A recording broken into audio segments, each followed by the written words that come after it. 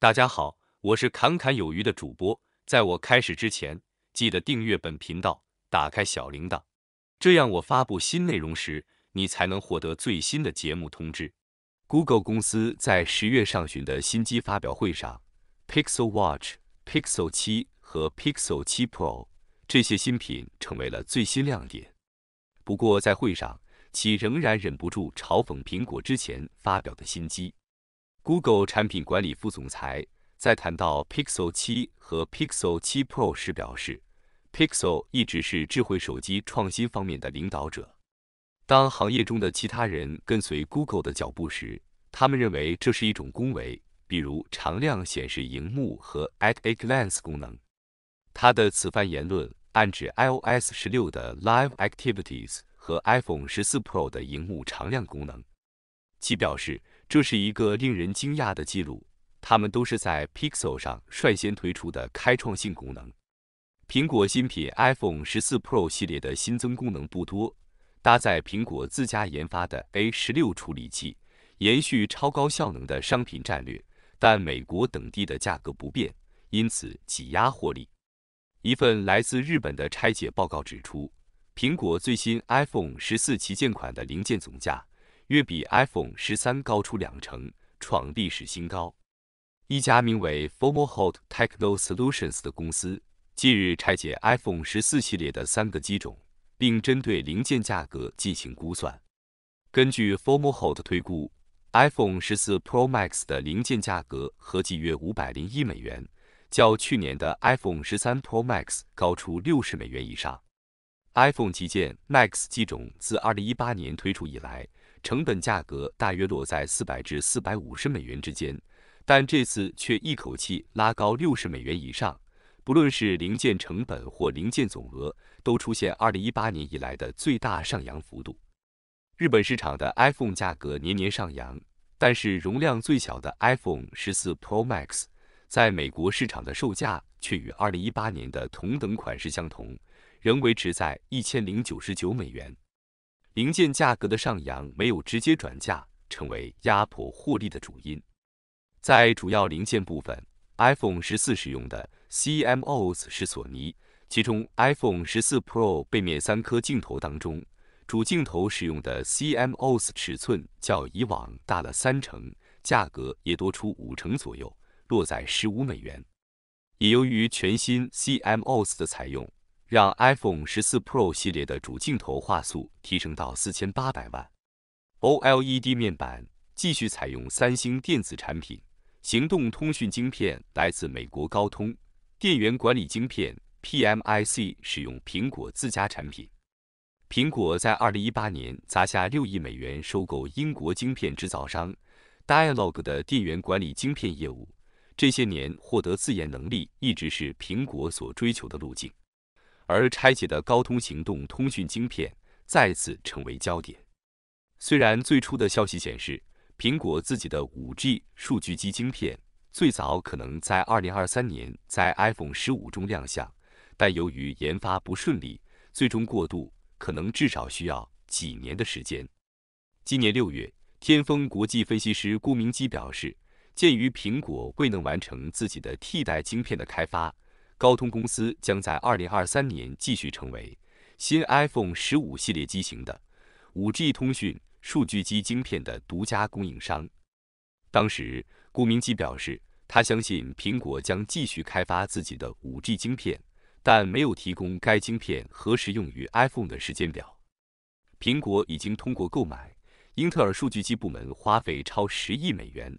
但最终用上自研五 G 数据机晶片。还需要投入多少资金，仍待观察。苹果在二零一九年与高通达成专利诉讼和解。有分析师称，苹果自研五 G 数据机晶片，尽管不会被专利拖后腿，但无论如何仍需要获得高通的一些标准必要专利以及非标准必要专利授权。据预测，高通仍将是所有 iPhone 十五和 iPhone 十六系列机型的数据机供应商。这表明苹果的数据机晶片至少要到二零二五年才会亮相。若维持今年 iPhone 十四系列布局，明年所有四款 iPhone 十五系列机型预计将配备高通最新的骁龙 X70 数据机。该 5G 晶片于今年二月发表。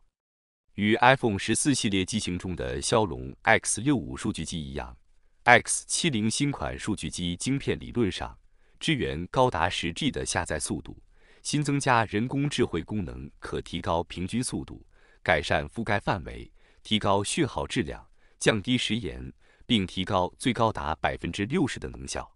一名分析师近日的研究报告中表示，他预计二零二四年发表的 iPhone 十六系列机型。将使用高通尚未公布的骁龙 X75 数据机晶片，预计将基于台积电的四纳米工艺制造，有助于提高能效。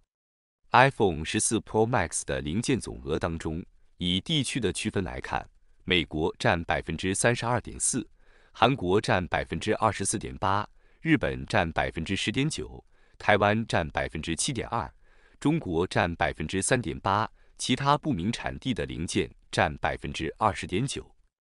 而去年的 iPhone 十三 Pro Max，美国占百分之二十二点六，韩国占百分之三十点四，日本占百分之十四点五，台湾占百分之八点四，中国占百分之四点五，其他不明产地的零件占百分之十九点六。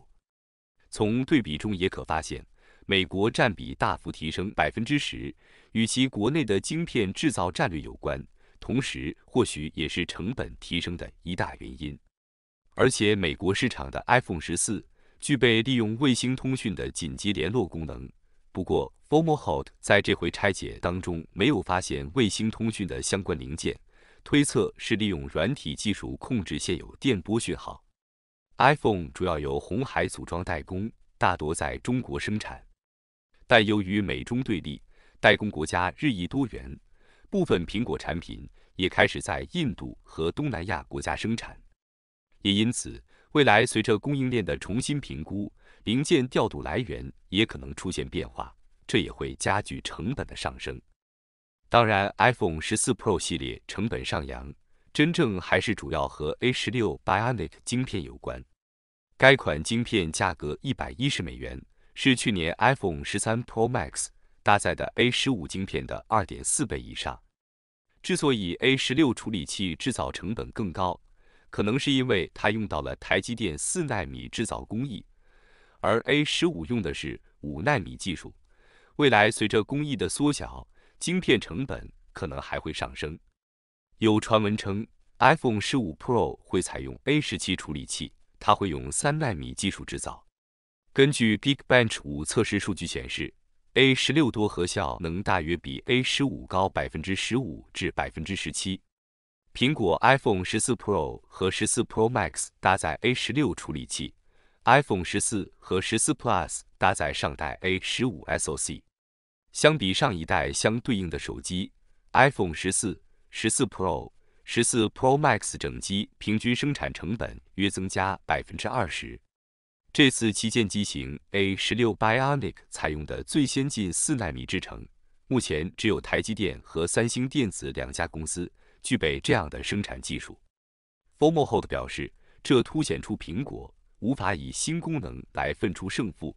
只好利用高效能装置的搭载来做出区隔的商品战略。那么，本期影片到这里就结束了，感谢你的观看，期盼能与你产生共鸣。侃侃而谈，阔论有余。最后，请你点赞、订阅，这是对本频道最大的支持了，谢谢。